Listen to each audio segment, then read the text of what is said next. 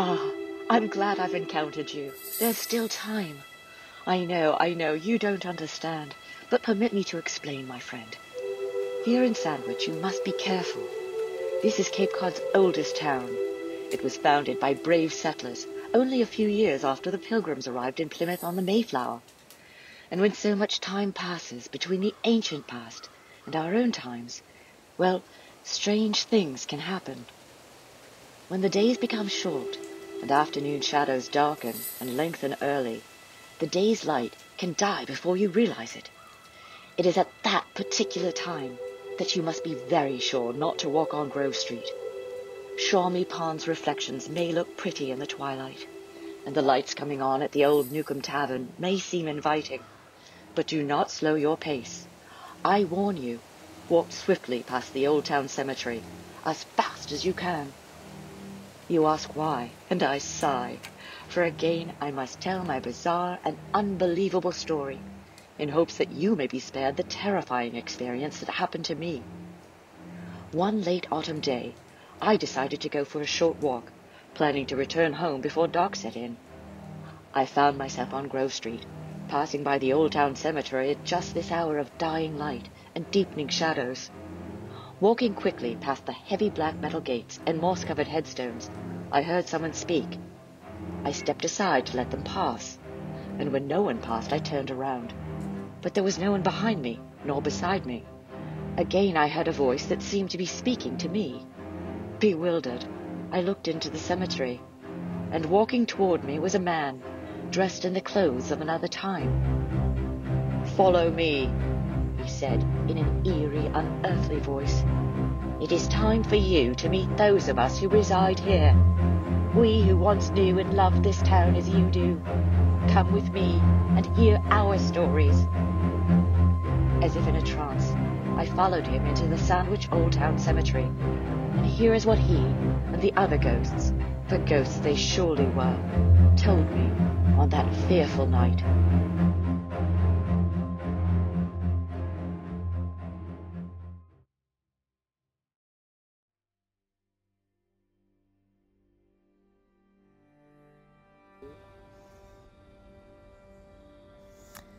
My name, while in this place, was Mary Nye.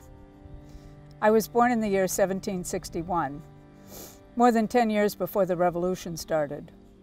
You can know from the dates on these old stones that I visited this place many times in sorrow and sadness, but sometimes for the peacefulness. Next to me is my husband, Zenas Nye. We had a good life together, and together our hearts bore much grief. Of our children, Shadrach was only 17 when he died, a young man in the bloom of his life. And his brother Stephen died when he was 19. We didn't know how we could bear the news.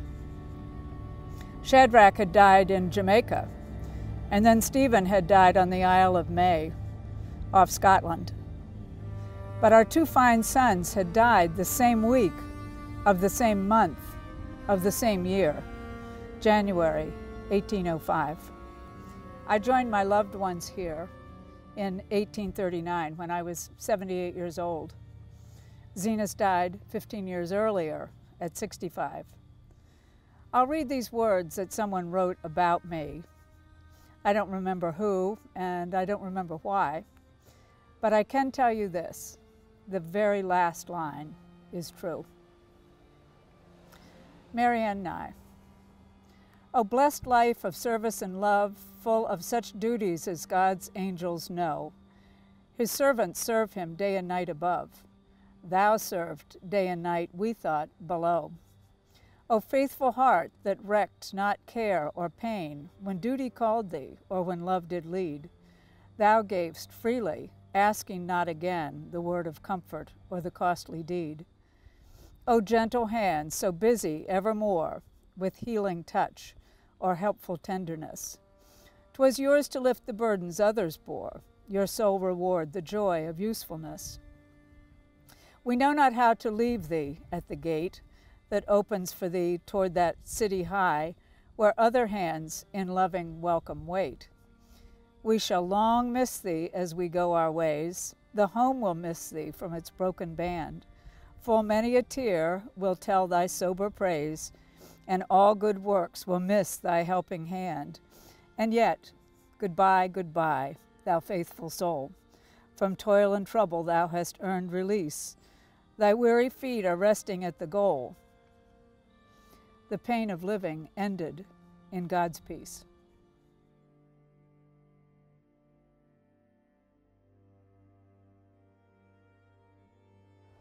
I have been a slave for as long as I can remember. Long separated from my family, I served the Reverend Abraham Williams of the First Church. He was an honorable man who lived by virtue and morality. Why he owned me, I do not know. Thenceforth, I felt it my obligation to wholly and faithfully served the church. After many years of service, the Right Reverend passed to his Heavenly Father, scribing my freedom in his final will and testament. With my newfound independence, I left Sandwich and went to sea to become a steward. After 22 years, I amassed a tidy fortune when my health began to fail, I returned to my roots of Sandwich to prepare to meet my Maker. With my final breath, I donated my estate to the church to build a four faced clock in the spire of the meeting house in honor of the Reverend. But each time that clock rang out, the town folks said, There's old Titus calling out for freedom.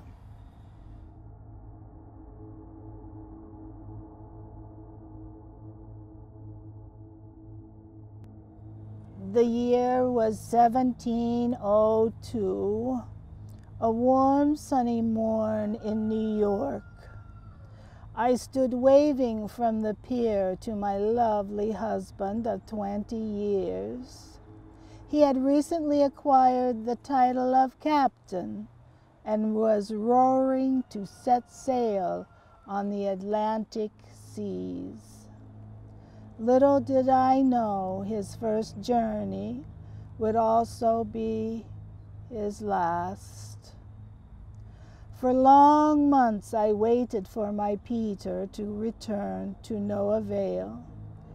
As summer days turned to frozen nights, my hope for his return began to dwindle. My loyal son Edward followed in the footsteps of his honorable father and led the household. We worked through December, Edward doing odd jobs for farmers and the like, whilst I spun wool and maintained our dwelling. It was until that fateful day wherein I spotted a traveler on horseback approaching our property with great speed.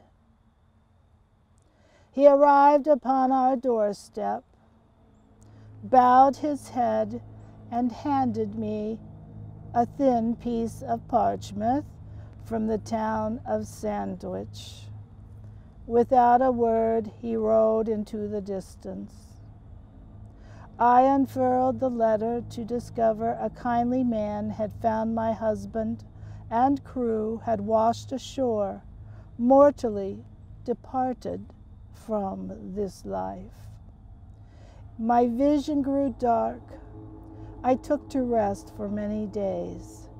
I wept for what seemed an eternity. Edward tenderly caring to my condition. Many weeks later, I emerged from my woeful state, thanking my son for his hard work and determination. He is truly just like his father. I could barely fathom how I had behaved so selfishly. I journeyed to the town of Sandwich to find those who had discovered my husband and express my thanks. Using our great fortune, I donated the first bell of the land of the free to ring faithfully in the Church of Christ. There, my tumultuous heart could finally be laid to rest. I am Janneke van Borsen.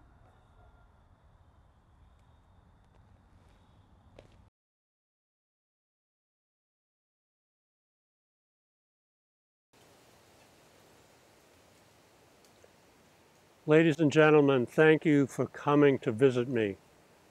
I have been here since 1725, and it gets lonely and cold, so I appreciate your visitation today. My name is John Pope. My father was Seth Pope, who was a very distinguished gentleman.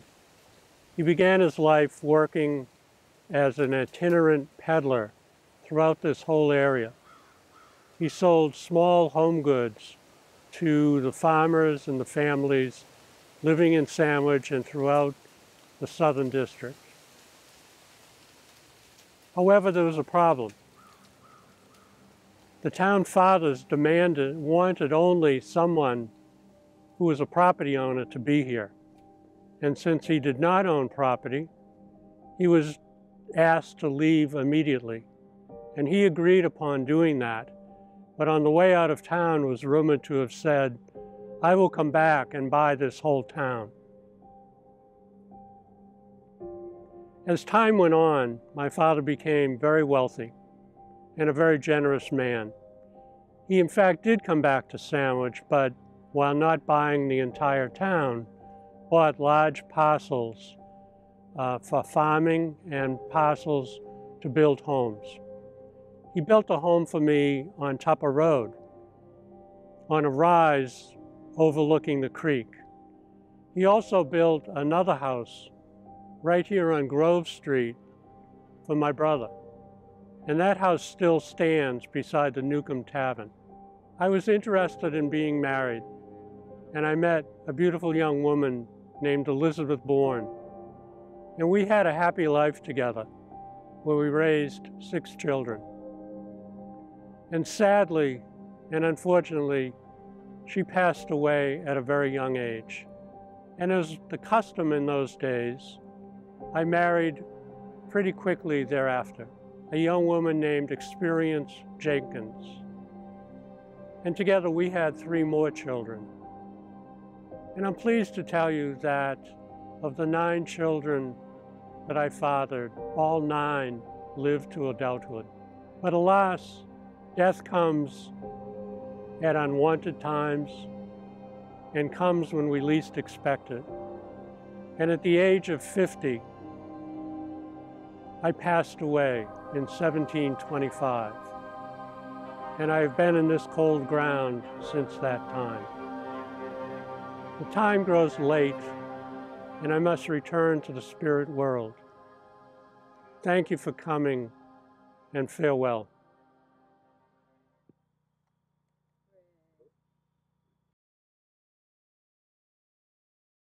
I'm Ezra Shaw Goodwin. It's humorous now to think that I spent most of my life wondering what death would be like. You see, I was quite the philosophical young boy in my day, endlessly pondering what lies beyond. I graduated from Harvard University in 1807 at the tender age of 20, which was an opportunity I have been eternally grateful. My time spent at Harvard acted as a gateway for me into the world of religion, I suppose. Six years later, I was ordained in the old meeting house. While yes, the meeting house will forever hold a dear place in my heart, my hunger for knowledge was too great for the old place to satisfy. It was then that I had been elected to be a member of both the Massachusetts Historical Society and the American Academy of Arts and Sciences. Thankful to even be offered such a membership, I humbly accepted. I can proudly say that my life at both of these societies was well spent as I suddenly had an outlet to release all of my excess knowledge. I devoted much of my time to those organizations, however. My true passion had been studying the works as well as the Word of God. It became increasingly clear to me that I felt most myself when I was preaching the way of our Lord to others. 'Twas thereafter that I became pastor of the First Congregational Church opposite John Burr, where I remained until I went the way of all flesh. Even after my death in 1833, I had the ability to look back on my life and smile. I truly do believe that I have philosophical enlightenment as well as my love for God to thank for my success. But as I wander through the cemetery all these years later, I wonder if people who are living contemporarily now struggle with religion and science as I did hundreds of years ago.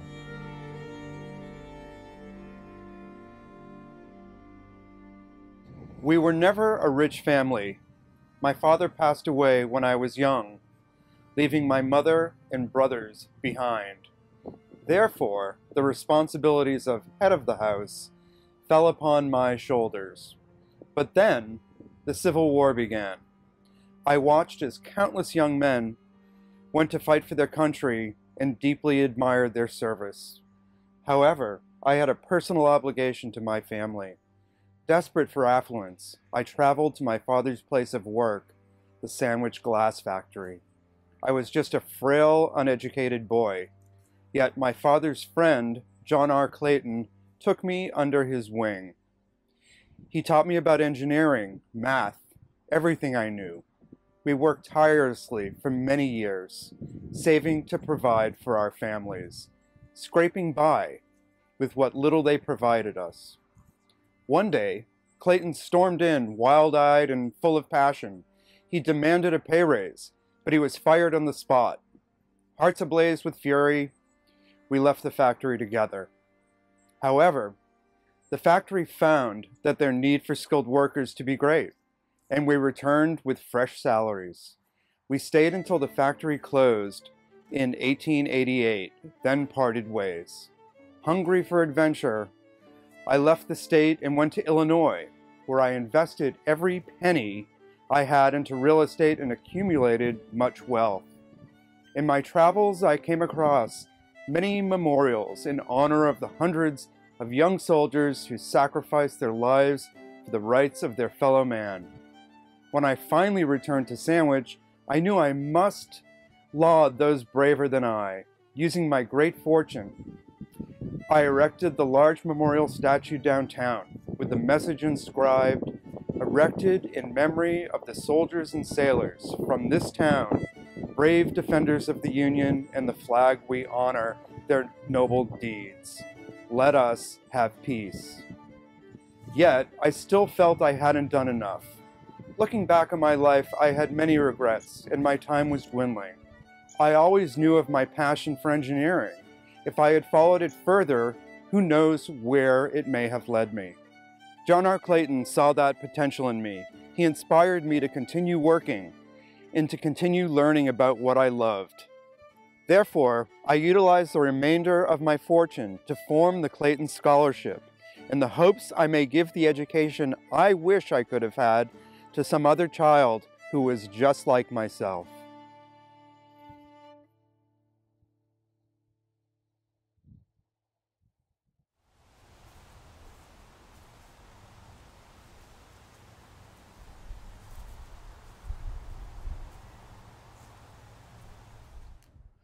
The fool will say in his heart, There is no God.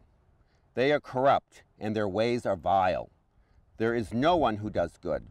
God looks down from heaven on all of mankind to see there are, if there are any who understand, any who seek God. If he sees that everyone has turned away, all have become corrupt, and there is no one who does good, not even one. It is when I deliver sermons such as these that my congregation erupts with chatter. An uproar, I say. They stake a claim at my supposed lies.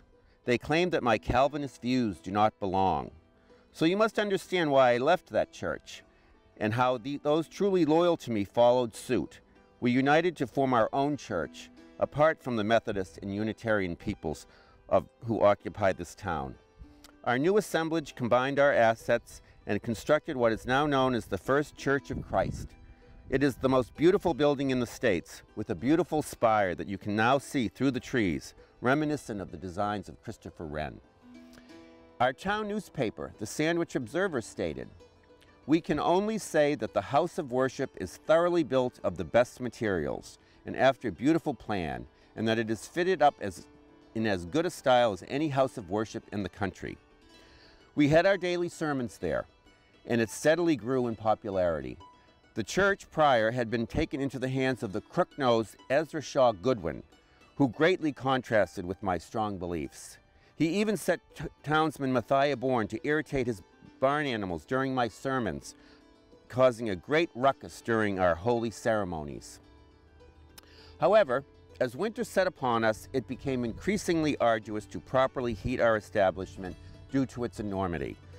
Thus, we set aside our differences and returned to the Unitarian Church for the season, and in return, our chapel hosted the summer oration.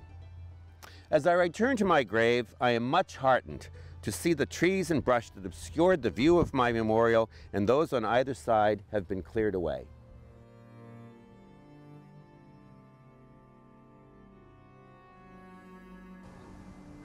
Good evening to all of you, and thank you for coming to visit me. It's been a long time since family and neighbors have come to see me, and it's comforting to have you here. I have been lying beside my dear husband, Mr. Joshua Hall, for nearly 200 years. It does get lonely. Pray, allow me to introduce myself. I am Temperance Nye Hall. My father was Joseph Nye, and he was a descendant of the Nye family who operated the grist mill in town on Old County Road. Do you know if the old homestead is still standing? The year of my birth was in 1727. My family were God fearing people, and they named me Temperance, indicating that I should live by the virtue of moderation during my time on this earth. When I was 17, I became the good wife of Mr. Hall. That was in October of 1744 which means that we are celebrating our 275th wedding anniversary here in eternity. Oh my, that is a long time. My husband and I were truly blessed by our Lord, for we had 10 children together. The first was named Mary in honor of Mr. Hall's mother, and our last child was named Temperance in honor of me. She was born 24 years after giving birth, my giving birth to our first. Temperance married Dr. Jonathan Leonard. Do you think his home is still there on Main Street? By the grace of the Lord, all of my children live to be good adults. It was a very cold day in February of 1800 when my dear Joshua died. And I remember it well. We proceeded from the meeting house and passed the Newcomb Tavern until we arrived here. He was 80 years of age. Three years later, I was 76. I was laid to eternal rest beside him. My family inscribed my stone with a message Relic of the late Mr. Joshua Hall, blessed are the dead who die in the Lord. I bid you farewell, follow the path of the Lord.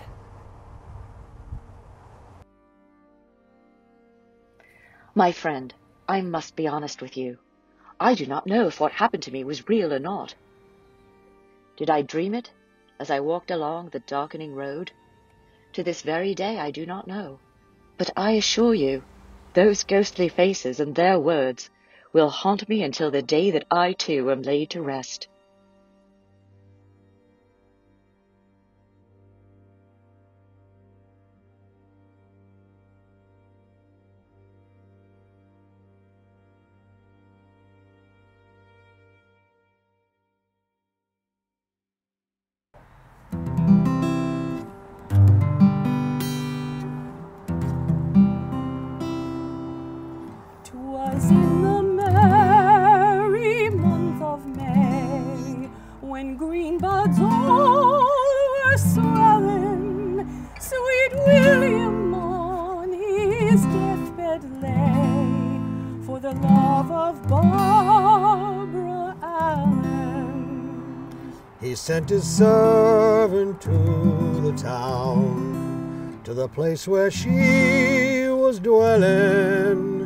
saying, You must come to my master dear, if your name be Barbary Allen.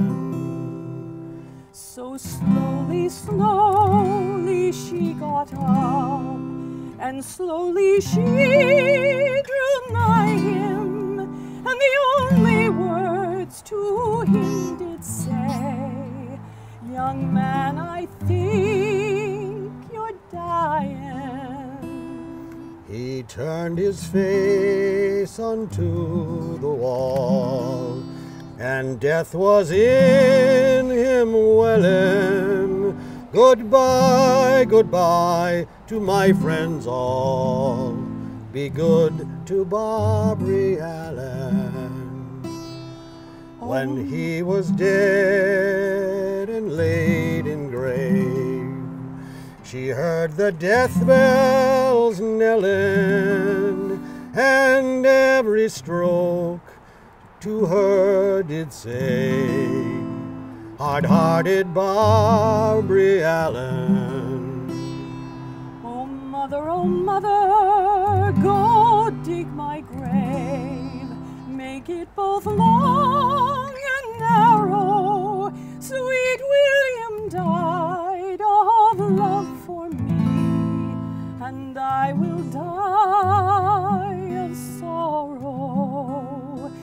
And father, oh father, go dig my grave.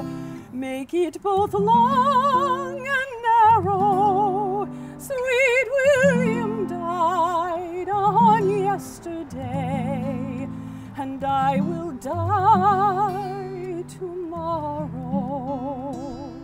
Barbara Allen was buried in the old churchyard. Sweet William was buried beside her. Out of William's heart there grew a rose. Out of Barbary Allen's a briar. They grew and grew in the old churchyard till they could grow higher, they formed true lovers knot, and the rose grew rot.